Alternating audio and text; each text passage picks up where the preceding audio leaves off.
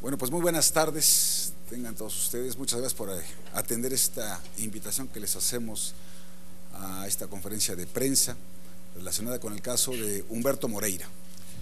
Eh, voy a darle la palabra a, bueno, nos acompañan mis compañeros de Coahuila, los senadores por Coahuila, Silvia Garza, Luis Fernando Salazar, el senador eh, Jorge Luis Lavalle de Campeche y el senador García Cabeza de Vaca del estado de Tamaulipas. Voy a dar la palabra en primer término al eh, senador Luis Fernando Salazar, quien dirá un mensaje eh, inicial y después estaremos a sus órdenes para preguntas y respuestas. Adelante. Muchas gracias, senador Javier Lozano. Agradezco a mis compañeros senadores acompañarnos en esta rueda de prensa importante para, para los coahuilenses y por supuesto agradezco la presencia de todos ustedes, compañeras y compañeros de la prensa que nos ayudan a dar a conocer nuestro trabajo.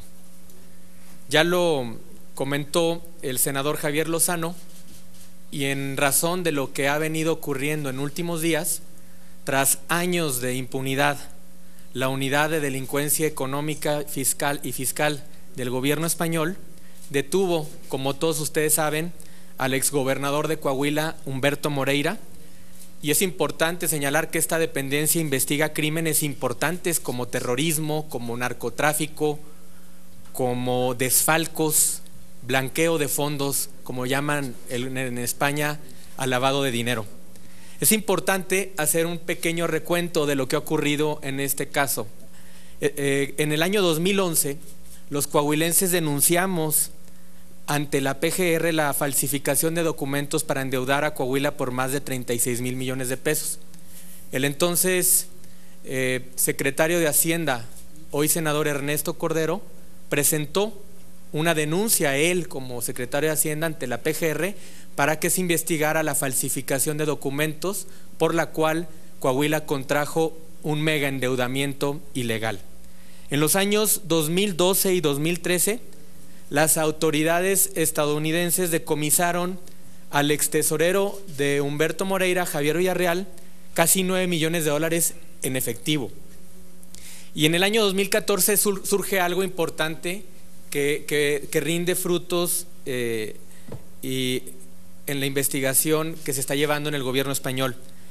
El empresario coahuilense Rolando González Treviño es aprendido en la ciudad de Las Vegas, Nevada, y se declara culpable ante una juez federal en, Texas de conspirar para transportar dinero robado a Estados Unidos y según sus propias declaraciones, estas operaciones fueron organizadas en el, en el domicilio y con la presencia del entonces ex gobernador y ex dirigente nacional del PRI, Humberto Moreira Valdés. Pese a todas estas evidencias, compañeras y compañeros de la prensa, el gobierno de Coahuila no ha hecho nada para investigar. Hay dos países que están viendo delitos, que están actuando en consecuencia, y el hermano Rubén, actual gobernador, hay que decirlo, hoy el gobernador de Coahuila es hermano del exgobernador Humberto Moreira, no ha hecho nada al respecto. Y la PGR tampoco ha emprendido las acciones legales. Como representante de los coahuilenses, presentamos una iniciativa de reforma antideuda, que hoy es una realidad, estamos en espera de aprobar una reforma secundaria. Pedimos y hemos pedido muchas veces los senadores, con la aprobación del Pleno, la participación y la, la investigación de la PGR en este asunto, sin respuesta al día de hoy. Y demandamos los senadores del PAN en Estados Unidos ante la Corte Federal de Texas la devolución de millones de dólares incautados. Hoy ante la, la detención de Humberto Moreira, expresidente nacional del PRI, proponemos lo siguiente. En la sesión de la comisión permanente que se celebrará dentro de dos días, propondremos lo siguiente. En primer lugar, pedirle a la PGR que nombre un fiscal especial independiente con solvencia moral probada para investigar el caso de Humberto Moreira. En segundo lugar, vamos a pedir que este fiscal no solo investigue a Humberto Moreira, sino a todos, todos los gobernadores y exgobernadores que están sumergidos y son este, víctimas de acusaciones de corrupción. En tercero, vamos a solicitar a través de la Comisión Permanente del Congreso de la Unión exhortar al jefe del Ejecutivo Federal para que a través de las autoridades competentes colaboren, intercambien información e inteligencia con el gobierno español y el gobierno estadounidense. Cuarto, como resultado de estas investigaciones de la PGR, vamos a pedir que la Secretaría de Hacienda y Crédito Público, el SAT, la Comisión Nacional Bancaria y de Valores implementen las acciones necesarias para dar con el destino de los millones de pesos robados a los coahuilenses. Hoy queremos no solo que Moreira esté en la cárcel, queremos que se recupere el dinero robado y queremos que el dinero regrese a los coahuilenses. Asimismo, solicitamos y solicitaremos a la Auditoría Superior de la Federación que investigue las cuentas públicas del gobierno de Coahuila en el periodo en el que Humberto Moreira fue gobernador de Coahuila. Quinto, vamos a solicitar que el actual gobernador Rubén Moreira Valdés se separe y pida licencia de su cargo para que no interfiera en las investigaciones, porque en estos cuatro años de gobierno no solo ha seguido endeudando al Estado, al estilo Moreirato, sino, sino que ha sido cómplice. Rubén Moreira fue subsecretario de gobierno de la administración de su hermano Humberto. Han sido omisos y han sido cómplices. Ellos no van a investigar absolutamente nada. Por eso demandamos la acción inmediata del gobierno mexicano y rectificar esta, estas medidas porque necesitamos recuperar el dinero robado. Yo quiero decir con claridad que Humberto Moreira parece que es que, que goza de impunidad en México. Humberto Moreira ha sido intocable en nuestro país por autoridades locales y autoridades federales. Humberto Moreira goza de mayor impunidad que el propio Chapo Guzmán. No me extraña hoy que el PRI, la dirigencia nacional, salga a defender a un corrupto como Humberto Moreira. Entre iguales se defienden. Y hoy yo como coahuilense vengo a exigir justicia a un gobierno que ha sido inoperante, omiso y cómplice. Nos dejaron endeudados. Cada coahuilense que nace el día de hoy, compañeras y compañeros, nace debiendo 12.383 pesos. Somos el, el estado más endeudado per cápita del país.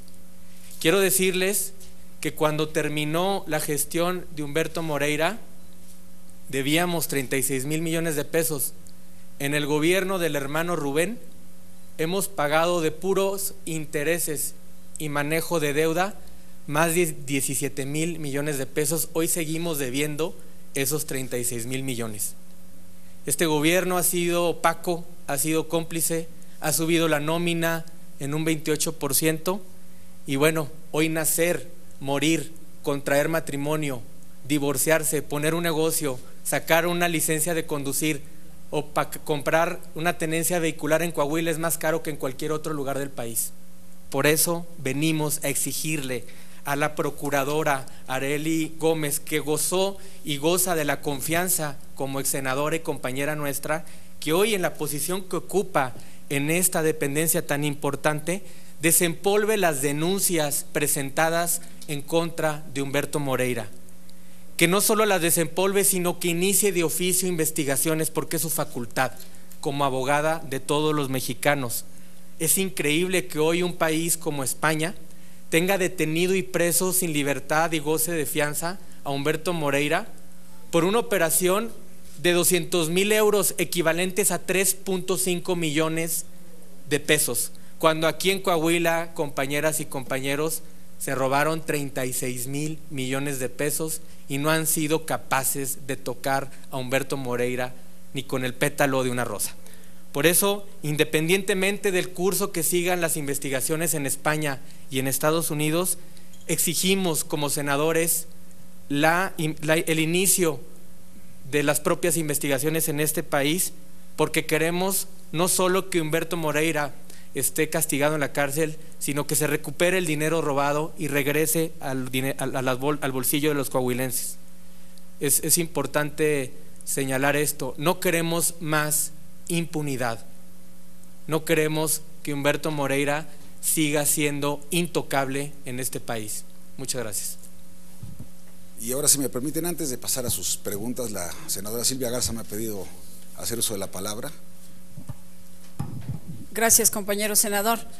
Y bueno, solamente añado de que este punto de acuerdo va firmado por todos los legisladores eh, federales, mi compañero Luis Fernando Salazar, por supuesto, eh, los diputados federales César Flores, Carlos Una y su servidora, pero va con aval de los dos grupos parlamentarios, tanto diputados como senadores. Y comentarles de que llegó la hora, llegó la hora de hacerle justicia a Coahuila. Ya no podemos permitir más impunidad. Y hoy están las autoridades federales y locales en un punto que no se vuelve a presentar de reivindicarse, de hacer lo que tienen que hacer, porque se les paga para hacer bien su trabajo. Así es que solicitar, como lo dijo ya mi compañero, a la PGR, Hacienda, a la Comisión Nacional de Valores, su servidor ha presentado diferentes puntos de acuerdo que ni siquiera en comisiones nos han entregado la respuesta. Y uno es, si hay una, una, un seguimiento ya, una apertura de investigación al extesorero de Coahuila, confeso de lavado de dinero en Estados Unidos, pues hoy tendremos la oportunidad de seguir el caso a todos los involucrados hacia arriba y hacia abajo. Es cuanto, senador. muchas gracias. Estamos a sus órdenes. Buenas tardes, senadores. Em, yo quiero preguntar sobre este juicio que ustedes eh, impulsaron para recuperar el dinero de Coahuila que se, bueno, que le, em, que le quitaron a Villarreal, me parece, ¿no? Eh, ¿Qué procedió ahí? Porque se supone que eh, habían adelantado que nada más tenían que pedir este dinero el gobierno de México, tanto que fuera la Procuraduría o el gobierno de Coahuila, eh, saber qué pasó en eso, eh, con eso y si ustedes pues entonces fracasaron en ese intento de recuperar ese dinero. En primera instancia y en segunda, ¿Cómo eh, pedirle la renuncia, a, bueno, que se separe del cargo a, a Rubén Moreira? ¿Sería a través de un juicio político que ustedes impulsarían o cómo sería la presión? Porque pues eh, hasta lo que hemos visto hasta el momento es que pues goza de pues de la protección del, de tanto del PRI como del Ejecutivo Federal, ¿no? Muy buena pregunta, muy pertinente. Eh, efectivamente, los senadores, el grupo parlamentario del PAN, en abril del 2013 fuimos a la Corte Federal de Texas, Corpus Christi específicamente, a, hacernos presentes y requerir, en este caso, un servidor como, como senador de la República, según nuestra constitución, cuidamos los intereses los senadores de nuestras entidades federativas y en ese carácter nos presentamos y requerimos el dinero. Al final nos dijeron efectivamente que el dinero no podían devolvérselo a los senadores, que tenía que pedirlo la autoridad correspondiente. Aquí a través del Senado hicimos una solicitud para que el gobierno, en el Senado y en Cámara de Diputados, el gobierno colaborara con aquella investigación del gobierno eh, federal estadounidense. No hicieron absolutamente nada. También quiero decir que un grupo de senadores, entre ellos la compañera Silvia Garza, fuimos a audiencia con el ex procurador Murillo Caram y le llevamos un expediente de lo que habíamos recogido en aquella reclamación ante Estados Unidos para que se sumara y colaborara. Por supuesto, no hicieron absolutamente nada. Por otro lado, me presenté ante la oficina y el despacho del gobernador Rubén Moreira, un servidor, no lo encontré, le dejé un oficio que me sellaron donde le digo que tiene que colaborar en este, en este reclamación en Estados Unidos con la Corte Federal de estadounidense para recuperar parte del dinero robado incautado al entonces ex tesorero de su hermano Humberto. El gobierno estadounidense, y eso quiero que lo recordemos, congela estas cuentas de todas estas personas involucradas porque así dice la autoridad hacendaria en Estados Unidos que este es dinero público producto del fraude, del robo y la malversación. Esas son las palabras que utiliza la autoridad hacendaria en Estados Unidos y bajo ese fundamento fuimos los senadores del PAN a reclamarlo. Se lo pedimos al gobernador y no hizo nada. Por eso Evidentemente hoy la solicitud es que, es que se separe, que pide una licencia a él, que, que se separe de su cargo porque huele mal que en todos lados investigan al hermano del gobernador, al expresidente nacional del PRI, Humberto Moreira, menos en Coahuila y menos en nuestro país. Efectivamente, corre un plazo perentorio donde si la autoridad este, mexicana no reclamaba, no hacía lo suyo, el dinero pasa a formar parte del, del, Tesoro americano. Todo ya se lo han... Lo que reclamamos nosotros en ese momento fueron 2.3 millones. En total le decomisaron en efectivo 9 millones y en propiedades la suma daba 20 ¿Por qué nada más reclamamos 2.3 millones de dólares? Porque esto, estas decomisiones, estas cuentas las fueron congelando por partes y esto nos tocó a nosotros como senadores. Muchas partes ya se habían decomisado antes de que entráramos los senadores en funciones.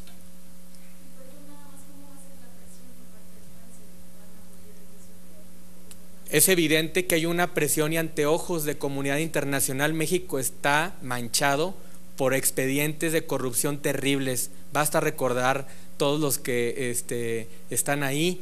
Les puedo recordar el de Ayotzinapa, les puedo recordar el del Tren México Querétaro, les puedo recordar el de las casas. Hay muchos temas, como que para ahora nuevamente surja otro donde dos países, Estados Unidos y España, se pelean a un exgobernador, expresidente nacional del PRI, y aquí el señor no tiene ni una sola averiguación abierta.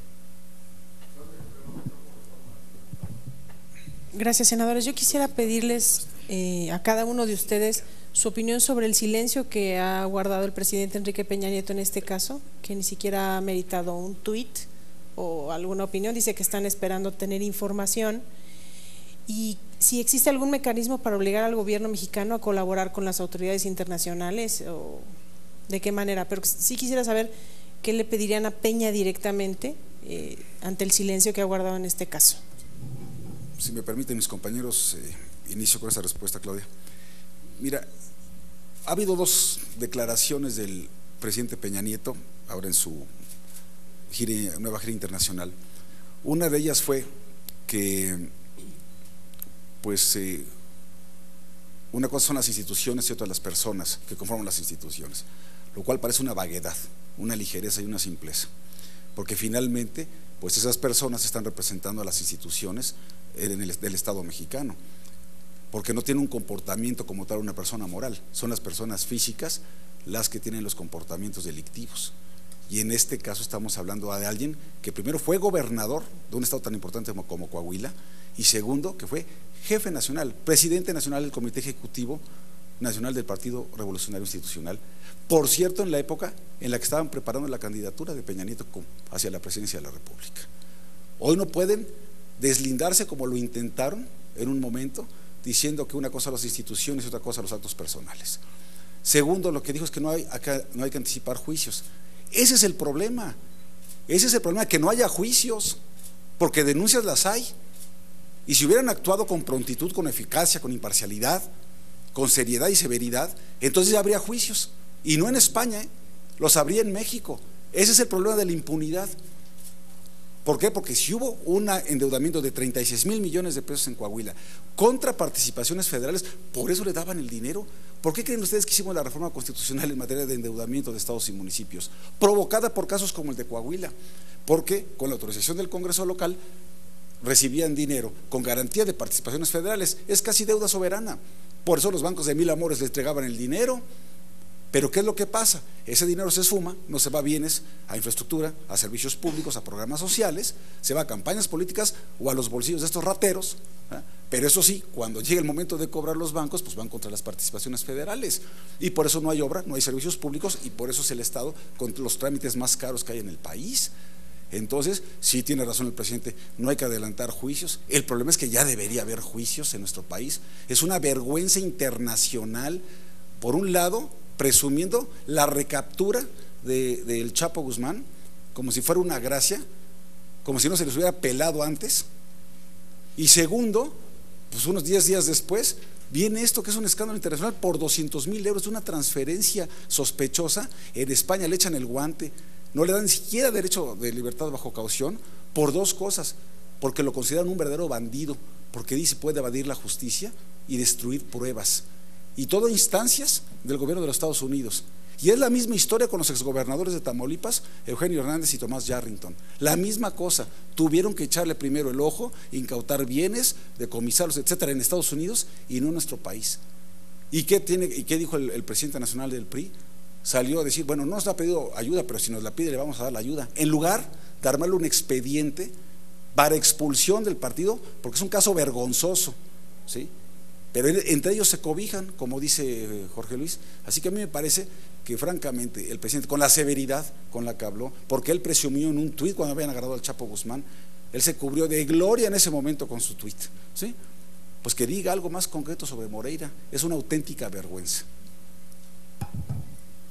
Bueno, pues decir que está pendiente en mayo del 2012 el entonces candidato a la presidencia de la República, Enrique Peña Nieto, al momento de que la prensa le hace esta pregunta, ¿qué va a hacer con el caso Coahuila?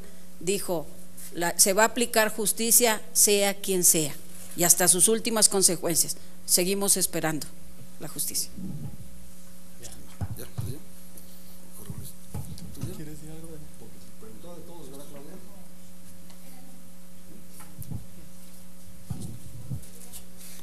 ya que queda con esto.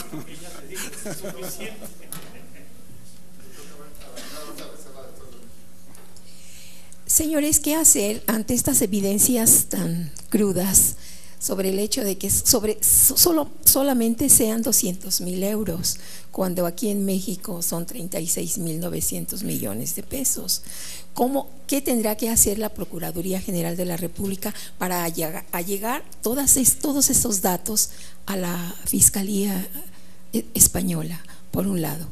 Y cómo rescatar también las propiedades que Moreira tiene en los Estados Unidos. ¿Qué se puede hacer? Gracias. Si, me permitan, porque también creo que no contestamos una parte de la pregunta de Claudia que tiene que ver con, esta otra. Hay acuerdos, hay documentos suscritos por eh, los gobiernos de estos países, Estados Unidos, España, México, en fin, tratados y convenciones de los que somos parte y que obligan a esta cooperación, a esta cooperación en cuanto a intercambio de información y acciones judiciales o eh, extrajudiciales que tengan que ver pues con la eh, eh, impartición de justicia por acciones o hechos iniciados en un país, pero que tengan algún efecto en otro país, como es el caso. Aquí se presume que el dinero que llega a España hay una triangulación por distintos mecanismos, pero que se origina a partir de un hecho delictivo o presumiblemente ilícito en México y que va a dar ese recurso a España. Lo afortunado fue que, eh, con independencia del monto, la operación misma fue detectada oportunamente por las autoridades, pero parece una vergüenza que lo hayan hecho las autoridades de España y de Estados Unidos y no las mexicanas, por lo que usted está diciendo. ¿Cómo es posible que puedan detectar una operación de 200 mil euros y aquí un elefante, un monstruo de 36 mil millones de pesos como si no existiera? Eso es lo vergonzoso, pero de que hay, Claudia, de que hay mecanismos de, eh, pues de colaboración entre los países los hay. Estamos obligados y también tenemos la facultad de pedirle a los demás países que nos den la información y en su caso también solicitar la extradición, ¿eh? la detención para, este, para fines de, extradición. Pero no sé si tú quieres agregar algo, Fernando.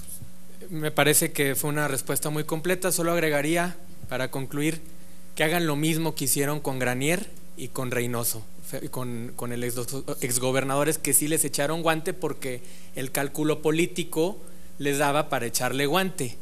Ahí no perdían. Aquí el caso es que con Humberto Moreira, por tratarse de un expresidente nacional del PRI, de haber estado como presidente en una campaña, en una precampaña presidencial, aquí se actúa de manera distinta y se aplica la justicia de manera selectiva, como le gusta aplicar la justicia en este país. Ya nada más para hacer un comentario en base a las preguntas que se han emitido. Creo que el Estado mexicano está haciendo, lo están poniendo a prueba. Es un tema de voluntad política que va más allá del saqueo desmedido que se ha dado en Coahuila y en otras entidades federativas. Es el mensaje que se le está dando al mundo entero, a todos aquellos inversionistas que han puesto sus ojos en México y están poniendo en riesgo muchas cosas. No solamente hablamos de corrupción, estamos hablando de la madre de la corrupción, que es la impunidad. Imagínense ustedes, hoy en día se presume mucho la reforma energética que costó bastante sacarla adelante. ¿Qué mensaje se está dando a los mercados internacionales en torno a una situación de esta naturaleza? Creo que aquí se está poniendo a prueba al Estado mexicano y este es un tema de voluntad política. La Procuración de Justicia, la Procuraduría General de la República va a jugar un papel fundamental para poder resolver este problema.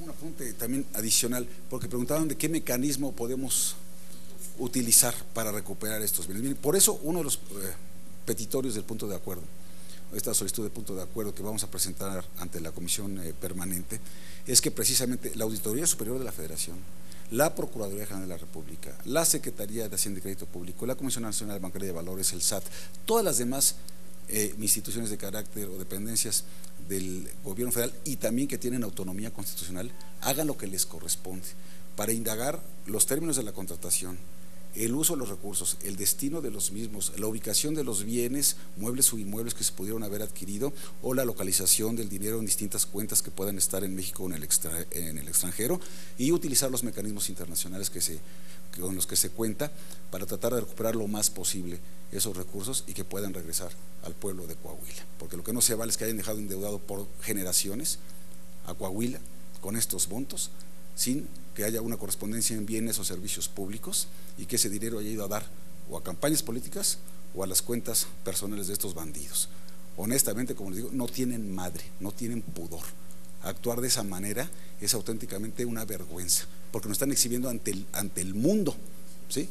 Como un país donde la corrupción impera con impunidad. Por un lado, llamamos a los inversionistas con reformas de vanguardia, y por otro lado nos comportamos como unos verdaderos truanes. Y eso es lo que no se vale y eso es lo que tenemos que ponerle remedio. Creo que quería, este, Pancho Garfias también quería hacer. A ver, senador, yo quiero insistir. Eh, ¿Hasta dónde están dispuestos a llegar ustedes en este asunto? Porque eh, hubo denuncias en tiempo y forma. Eh, cuando suceden este tipo de denuncias, se diluyen pasa el tiempo y no, no, ocurre nada. ¿Hasta dónde van ustedes, están dispuestos a llegar? Porque se aproximan tiempos electorales. ¿Este asunto no será sujeto de negociación política?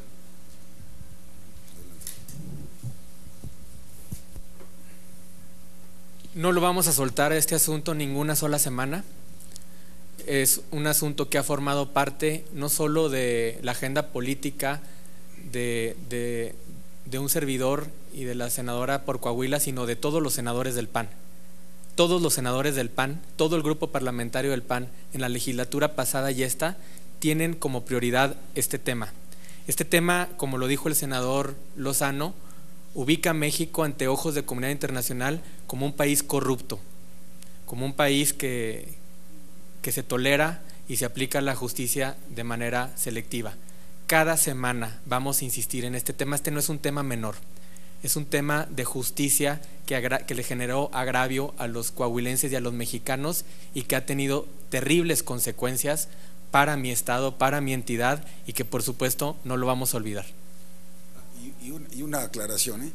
en este patitorio de que intervengan distintas autoridades, lo que no queremos es que pongan al implacable fiscal de la Secretaría de la Función Pública, Virgilio Andrade, a investigar el caso. ¿eh? Seamos serios, si queremos que en este caso se llegue hasta las últimas consecuencias.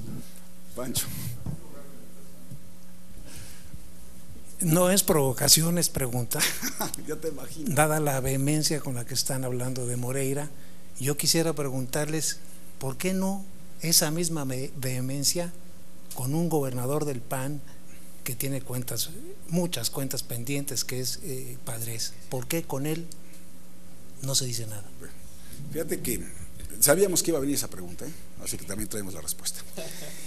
El, eh, el PAN, en esta gestión de Ricardo Anaya, es el único partido político que tiene en su interior, en su seno, una comisión especial contra la corrupción. La encabeza un hombre absolutamente honorable como es Luis Felipe Bravo Mena y tiene como encomienda precisamente revisar el caso de Padres y los demás casos que son públicos ya y algunos que no son tan públicos. Pero además estamos absolutamente dispuestos y uno de los petitorios de este punto de acuerdo es que la Fiscalía Especial que se cree con motivo del caso Moreira como punto de inicio investigue a todos los gobernadores, a todos, sean del partido político que sean, incluido del Partido Acción Nacional porque aquí no se trata de ser tapadera de nadie. Nosotros somos, sí, compañeros dentro de un instituto político y apoyamos a, quienes son candidatos y eventualmente gobernadores, presidentes municipales, diputados, senadores, servidores públicos en general. ¿sí? Pero si alguien tiene una conducta desviada, completamente alejada a la ley, que pague por lo que hace. No vamos a ser comparsa de absolutamente nadie de nuestro partido y tampoco de ningún otro partido. Así que si el señor Padres tiene cuentas pendientes con la justicia, que dé la cara, que lo enfrente y que pague por ello. No queremos tampoco ver, ni en el caso de padres, ni en ningún otro caso de ningún gobernador de ningún partido político, persecuciones políticas. Pero una cosa es una persecución política y otra cosa es que sean unos bandidos, unos pillos que se roban el dinero de la gente. Y esos, sea quien sea, tiene que pagar por ello. Y por eso esta fiscalía que estamos pidiendo es para que se encargue de todos los casos, no solamente del caso de Humberto Moreira. Bueno, pues es que eh, otra vez depende de voluntad política. Claro que es factible, pues cuántas fiscalías especializadas nos han creado, ¿sí? Pero me temo, bueno, que hay una cierta resistencia. No quiero una fiscalía especial, que nos digan cuál va a ser el mecanismo, pero eficaz, que desempolven estos expedientes, hombre. Lo que no puede ser es que siempre le apuestan al olvido y que como viene un nuevo escándalo, entonces cubre al otro y entonces viene una novedad y cambia el año y cambian gestiones. No, señor. Este caso lo hemos denunciado y particularmente mis compañeros de Coahuila han estado sobre él desde el primer momento. Y Ernesto Correa como secretario de Hacienda fue quien reveló toda esta información pública. ¿Cuánto tiempo tiene que fue secretario de Hacienda Ernesto Cordero, hombre? Es una vergüenza. Por eso, claro que sí hay voluntad política y nosotros sí creemos en Areli Gómez, porque fue nuestra compañera senadora, sabemos de su honorabilidad y esperamos que actúe en consecuencia y que las demás instancias, el Auditorio Superior de la Federación, también actúen en consecuencia ¿eh? y que nosotros pongamos el ejemplo, porque una cosa es que haya corruptos y otra cosa que haya impunidad, es lo que no se vale.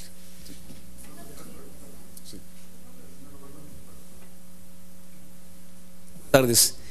Eh, ya se ha dicho ya bastante, yo creo que ya han abordado mucho el tema. Yo me queda una inquietud, ¿la sociedad mexicana podría pagarle a los partidos políticos una factura en las elecciones que venideras, tomando en cuenta la corrupción rampante que hemos vivido tanto en el PAN como en el PRI? Bueno, ¿por qué no dices eso? Por eso hicimos mención que esta prueba el Estado mexicano va más allá solamente del actuar que tenga el Ejecutivo Federal. También nosotros como Poder Legislativo estamos haciendo lo propio, haciendo las denuncias, como se hizo hace algunos meses eh, también en una denuncia en Estados Unidos. Pero yo vuelvo a insistir, este será un tema de voluntad política y que cada quien asuma su responsabilidad. Y si hay responsabilidad, como es notoria, del expresidente nacional del PRI, que la paguen. Seguramente lo van a hacer en las próximas eh, elecciones, pero lo va a pagar pues todos los partidos políticos que sean omisos a una situación de esta naturaleza, como está sucediendo en muchas otras entidades federativas. Darle si eh, no creen que las instituciones están siendo omisas en varios temas porque se le cuestionó a la canciller si ya tenía la notificación de que hay un mexicano detenido en Madrid, dijo que no tenía información. La PGR sobre inteligencia tampoco. Eh, lo que tenemos es una reacción solamente del Ejecutivo Federal y, saber a nivel internacional cómo nos deja, porque el hashtag misión cumplida pues habla de igualar situaciones ¿no? este, entre México, el caso Chapo y Humberto Moreira. Claro, como manera de anécdota sería bueno echar un vistazo a los tweets de la Policía Nacional Española. Nunca utiliza el hashtag misión cumplida, lo hacen referencia justamente al que utilizó el Ejecutivo Federal en México, misión cumplida, cuando detuvieron al Chapo. Y eso habla de una desconfianza en torno a nuestras autoridades mexicanas. Y bueno, todos se han quedado cortos. Cuando hablamos del, eh, del, del, gobierno federal, estamos hablando desde el Ejecutivo hasta los titulares de las secretarías de Estado, todos se han quedado cortos en este tema. Todos son parte del mismo juego de voltear hacia otro lado, de seguir con la complicidad y de cubrirse las espaldas, porque al final es, es como si fueran de la misma banda.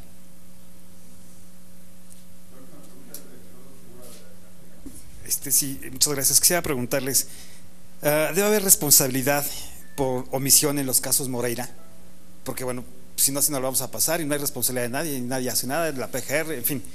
Se deben cumplir con las pesquisas de los casos ya anteriores escándalos de Tomás Yarrington, Eugenio Hernández Flores, Ángel Adio Aguirre, Guillermo Padres, en fin.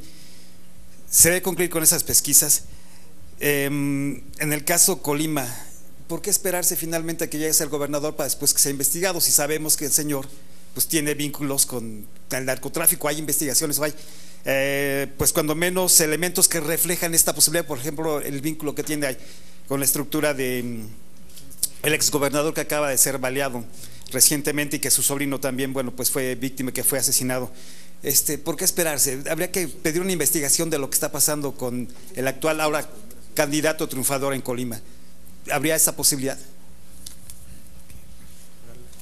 Digo, no, no, no entendimos muy bien la pregunta en torno a, estamos hablando del, del, del las pasadas, el pasado proceso, el de, el de la última pregunta, sí. completamente, porque hablo, este, yo les pregunté que si había, eh, si habría posibilidad de hacer que haya responsabilidad por omisión en el caso, por ejemplo, de Moreira, otras pesquisas, otros este, escándalos de exgobernadores que pues, finalmente se han quedado en el olvido. Y en el caso de Colima decía, ¿por qué esperarse a que finalmente sea gobernador este, eh, Ignacio Peralta?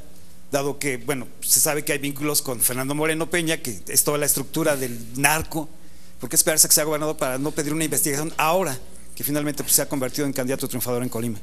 Por eso uh, fuimos precisos al mencionar que esto es un tema de voluntad política y nosotros estamos convencidos que cada quien tiene que asumir su responsabilidad. En el caso nuestro, pues no somos ministerios públicos investigadores. Lo que nos corresponde una vez que tenemos conocimiento de hechos delictivos es presentar las denuncias correspondientes y creo que por parte de este grupo parlamentario lo ha hecho en tiempo y forma.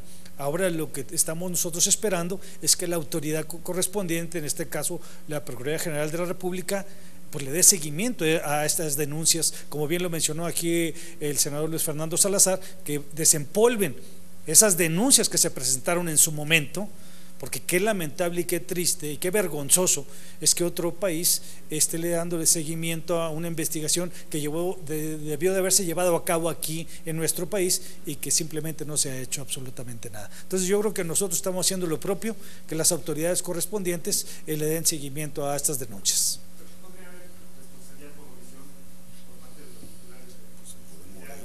Bueno, por supuesto, omisión y complicidad, pues también la complicidad es pasiva.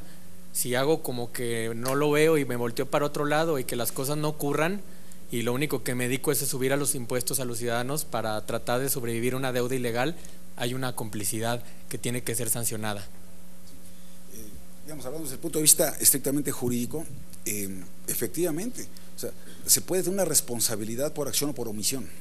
Hay delitos dolosos, hay delitos culposos, hay unos que tienen una intencionalidad, hay otros que son por negligencia. Y muchas veces la negligencia es precisamente esto. Y se supone o se presume que puede haber negligencia cuando hay un conflicto de intereses.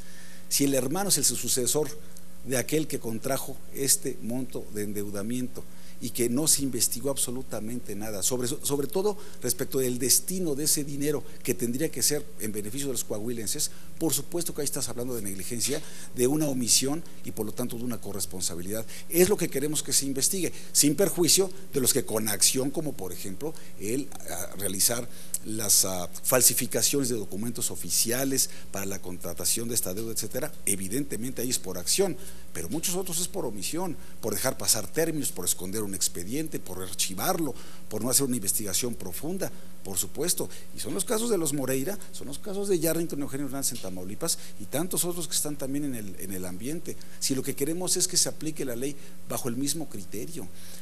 El secretario de Gobernación recientemente decía, con la detención del Chapo, que con esto se demostraba que ningún criminal estaba por encima de la ley en México y aquí todos la iban a pagar. Qué buena oportunidad, porque nos dejaron en ridículo las autoridades en España, a petición de las autoridades estadounidenses, con este hashtag de misión cumplida. Como bien dice Luis Fernando, esto no lo usaban, ¿eh? lo usaron para pitorrearse de nosotros. Y eso es una auténtica vergüenza.